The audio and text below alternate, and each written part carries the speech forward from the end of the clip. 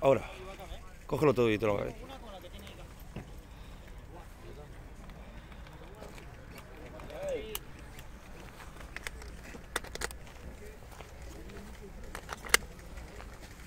Gracias.